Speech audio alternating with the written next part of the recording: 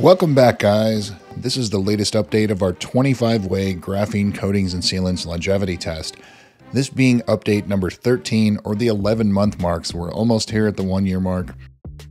The amount of pollen we're experiencing right now is just absolutely incredible. As you can see here, we've also had a decent amount of rain the last 30 days weather, as well as the lifetime weather that this hood has seen is on your screen here. And if you'd like to support the channel, all you need to do is hit that like button, subscribe, and of course comment down below if you have any experience with any of these products. If you're just joining us, please be sure to check out the entire series of each of these videos as there is a ton of work that goes into the research, prep, install, and continued testing of all of these.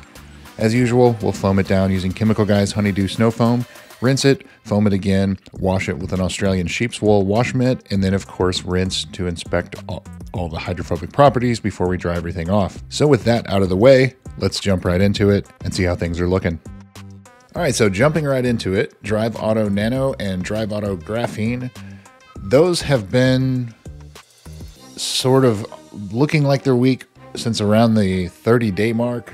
Been kind of acting like that, at least the graphene product. The Drive Auto Nano still looks like it's doing all right, but they're both pretty worse for wear. 4210H graphene, that is the Amazon only coating. Looks like it's doing all right. And IGL Easy Graphene, which I believe is rated for one year, it's looking like it's going to probably make it to the one year mark. Graphene pre production sample A, I believe that one was also a one year product or rated for it, and Glossit Graphene.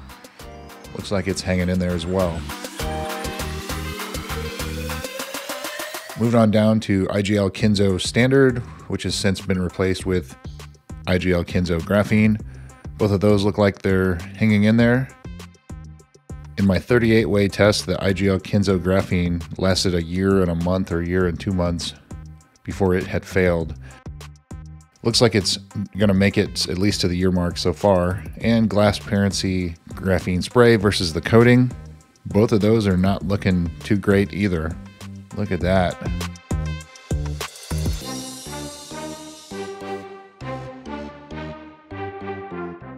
So not to the point where we would call them failed, but they're pretty close. Like you know, look seeing as how they're looking right now, this would tell me they're probably rated for a year. If I if I didn't know anything else about them, looking at how they're acting here. Xtreme Solutions graphene spray and the coating, sort of in the same boat.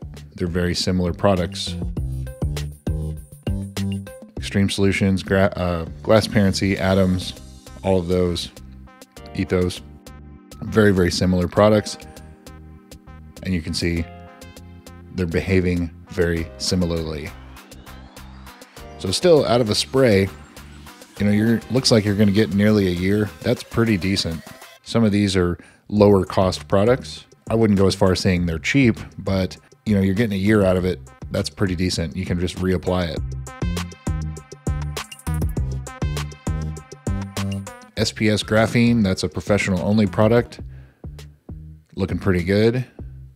Sorry about my parrot in the background if you hear her. She likes to talk when I'm narrating. And Turtle Wax Graphene Flex Wax. Very, very, very close to calling that one failed, but we'll leave it as weak. It's uh, looks like it's probably going to make it to the year mark, and that's about it. So again, let me know if you guys have used any of these products. Are you getting similar lifespan? In the past, some of you guys have pretty much been in agreement with what I'm seeing. What I'm getting here is what you guys are getting. So I'm curious to hear your thoughts and opinions. Thanks again for watching, and we'll see you soon.